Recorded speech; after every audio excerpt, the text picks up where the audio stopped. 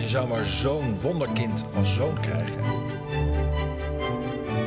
Die tijd was, die was totaal anders dan je je nu kan voorstellen. Vanaf de eerste moment is het heel moeilijk.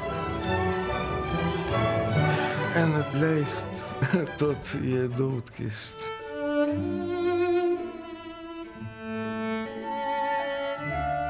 Als je treurig bent, word je getroost.